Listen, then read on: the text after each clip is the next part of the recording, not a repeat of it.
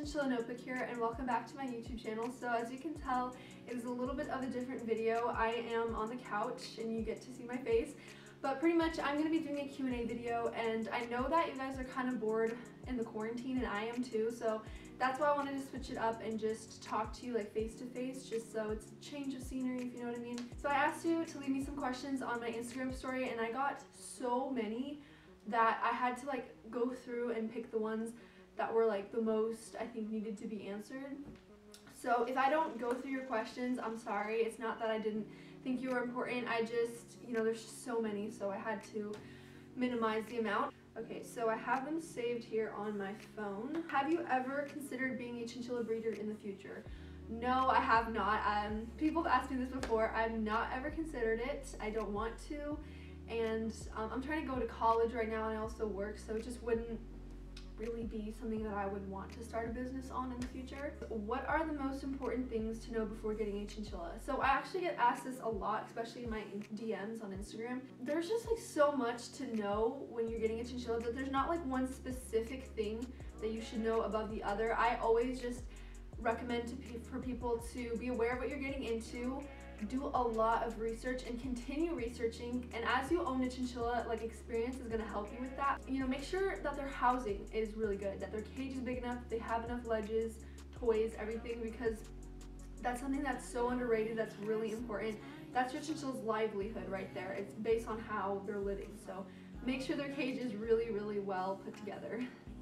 The next question is do you think chinchillas are best to bond with when they are 10 weeks old 10 weeks. I'm bad at math. I think this is two months, two and a half months. So, two and a half months. Okay, I have to make sure I was right on the math. Anyway, they're actually, it's best if you try to bond with your chinchilla as young as possible. The younger you start, the easier it will be for them to bond you, with you, the less it's going to be frightening for them. So try to handle them a lot when they're young. Do you expect Merlin to asset dominance when he and Zorro finally meet?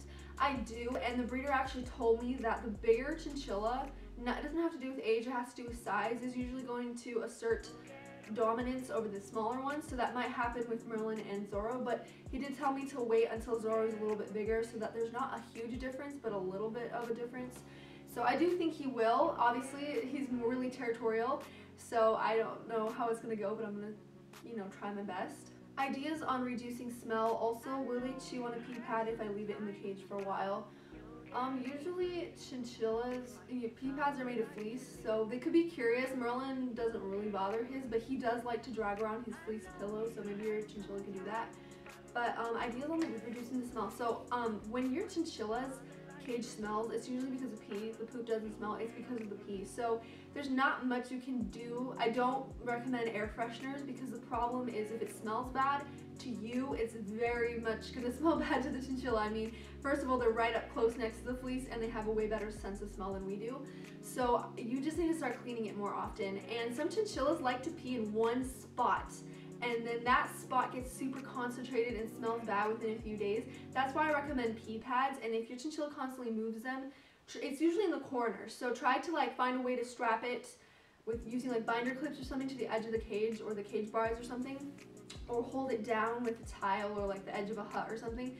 But other than that, clean the cage more often if it's something that is really becoming a problem. I like to clean mine every five days. I used to do it once a week, now I do it every five days, and if you need, every four days, because in, in the end, it's about your chinchilla's health. You don't want them walking around and smelling their pee and getting it on their fur if there's a lot of it on the fleece. So yeah. How can you tell if your one chin should be introduced to and eventually live with another chin? Well, there's not really something that, you know, tells you when to do it. I know Merlin in the past, this is why he's alone. He's not gotten along with other chinchillas. So I'm a little bit scared and that's why I was holding back on doing this for a long time. But I just decided to try going for it. But there's not really something that you can just tell. You can only try. And I will be documenting, once I start bonding them, I will be documenting the whole process and I'll be sharing what techniques worked for me and that you guys can also take from that. But as far as how can you tell? There's not really any indication that they're ready to bond. You just have to start and take it slow. It's normal for chinchillas to shed a bit. Yes, it is. As the warmer season is coming up, chinchillas do shed a little more, and that's because they're just getting rid of their old fur and they're growing new fur. It's normal, don't worry about it. Um, unless The only time you should be alarmed is when you're seeing chunks of fur in the cage or if you're interacting with the chinchilla and they lose a bunch of fur, that's because they're scared of you. But other than that, unless you notice bald spots or chunks of fur just lying around in the cage, it's not a problem. Shedding is completely normal and healthy. Can two chinchillas share one critter nation cage? Yes, they can. They can fit very comfortably in a critter nation cage. And I actually, if I do end up bonding these two together, Zorro and Merlin, I want to find a way to combine the two cages together. And I think my dad has a plan for that. I don't know what it is, but yeah, I want to combine the two. But one cage, one critter nation is definitely okay for two chinchillas. Where did you get Merlin and Zorro from? I got Merlin from PetSmart here, and I got Zorro from Breeder up in the other side of my state. So that's where I got them. And how is the new chinny adjusting to his new home? How long should my chinchilla be allowed to spend time in his dust bath? So there's not really a necessary time for them to do it. Sometimes you can literally just let your chinchilla take a few rolls and that'll be fine. I usually let Merlin have it during his playtime and he'll go in and out of it a bunch for like 30 minutes, 40 minutes. Uh, I just let him do what he wants to do with it. It's kind of like fun for them, so there's not really a set time. I just don't recommend doing it every single day. I would usually at least try to let three days go between dust baths. Should you have your chinchilla's cage near windows? Uh, no. um, if direct sunlight is hitting their cage, that's definitely not a good thing. The closest breeder is five hours away from me. What is the best way to travel back with a young chin? So Zorro was about four hours away from me, so it's a little bit, you have a little bit of a longer trip, but the best way is to set up their carrier to have hay, a hidey hut for sure, and some food and water. I doubt they're gonna drink the water, but you can try to put it in there. And then to cover it with a fleece. And that way they don't get scared because they're gonna be hearing and feeling the movement of the car, but they're not gonna be seeing. And it'll be a little darker, so it'll calm them down a little more. That's my best recommendation for that long. Are they easy to take care of? It depends. Some, you know, it really depends on your perspective and what you consider easy. I honestly think chinchillas are pretty easy. Having two now, the cleaning time and the play time and the care is a lot longer now, but they're pretty easy to take care of. You just, after you've owned chinchillas for a while, you just kind of get into a routine of it. Once you lose your chinchilla's trust, can you regain it? Yes, you can sometimes, but it's really difficult to because losing trust in anything, animals or humans, is hard to regain and you have to really work to build it back up. So if you have lost your chinchilla's trust majorly, you just start from start from you know square one. How you when you first got them, start from there and then keep going until you gain their trust back. Can you brush them with a pet brush? No, chinchillas take care of their own fur. They groom their own fur, and the dust bath is enough. You don't need to use a brush. That's bad for them. Should I get one or chinchilla or two?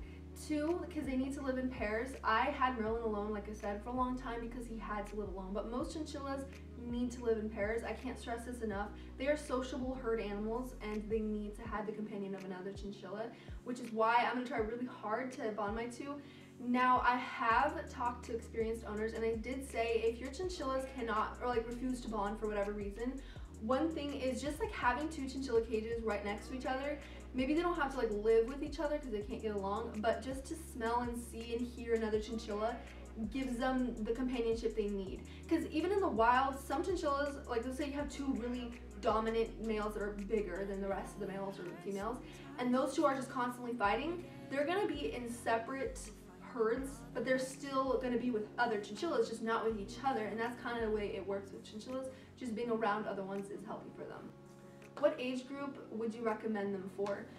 Chinchillas are not um, kid pets. I don't recommend them for kids. I think the old, the youngest I would go for is probably like 12 years old to own chinchillas, but that doesn't mean that not all kids can own chinchillas. There are responsible kids who are very well educated, take good care, are responsible.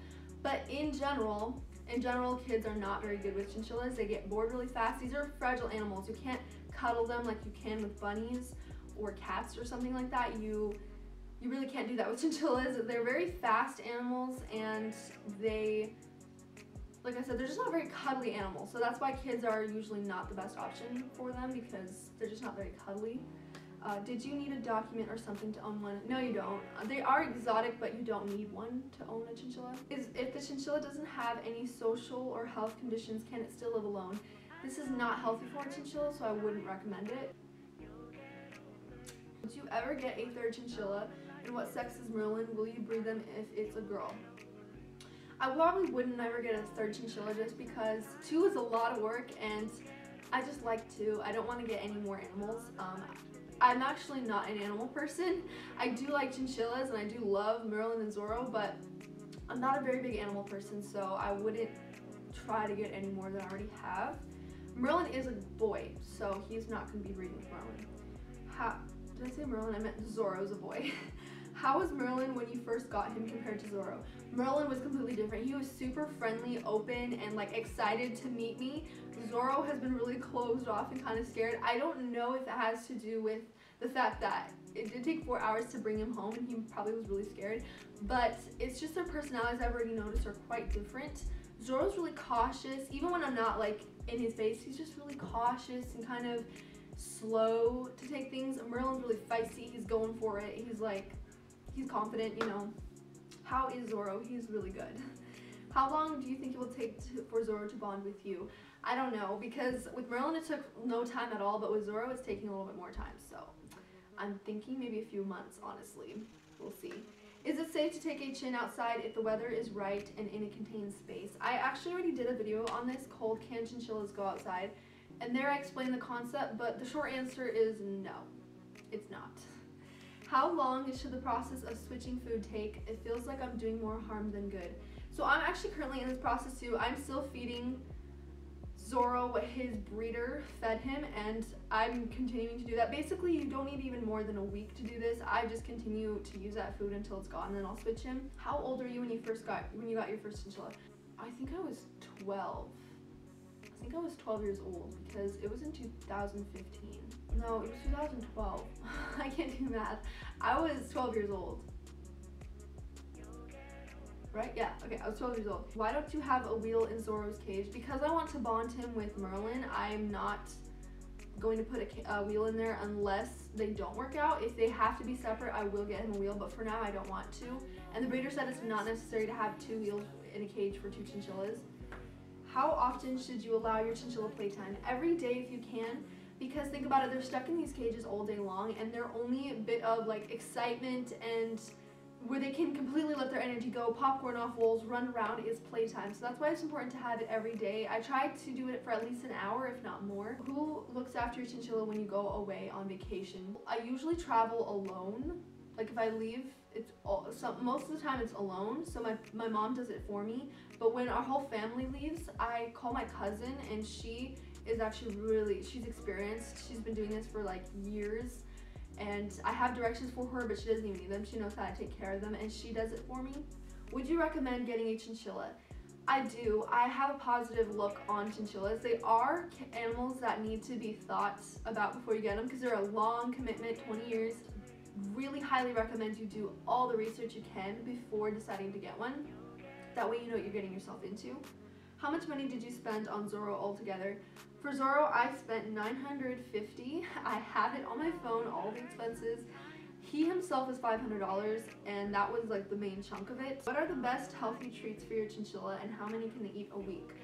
They don't even need treats. If you don't give them treats at all, they're actually going to be healthier than if you did give them treats. We just do it because they love treats and it's cute to watch them eat it. So I like goji berries, oats, and I and barley oats, barley grouts. I think that's what they're called.